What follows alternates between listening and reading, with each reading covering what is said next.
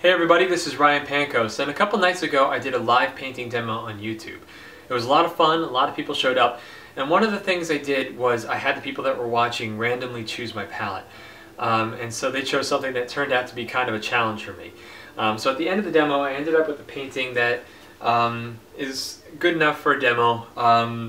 I was trying to push warm colors really, really cool. And so honestly, it's really not one of my favorite paintings. And as I was working on it, I was just constantly thinking about how I would have approached it differently.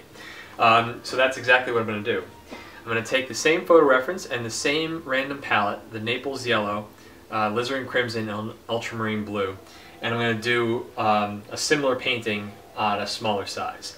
So consider this the addendum to the live painting demo and enjoy.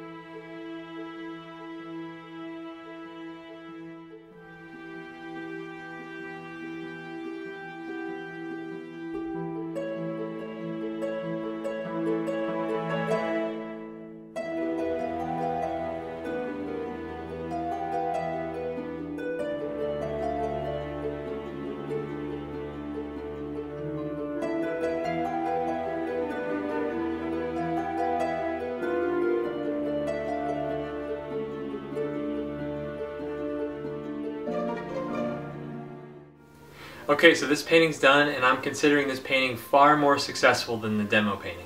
Um, as you can see, I didn't ignore the Naples yellow this time. Um, the, the face is a lot warmer, um, it's a lot more natural, um, and it's just a all around a more successful piece. Um, so this painting is going to go up for sale on the 19th at everydayoriginal.com. You can keep in contact with me on my Instagram and Twitter accounts, my Facebook page, my website, and also please subscribe to this YouTube channel. Um, I hope you like this video and thanks for watching.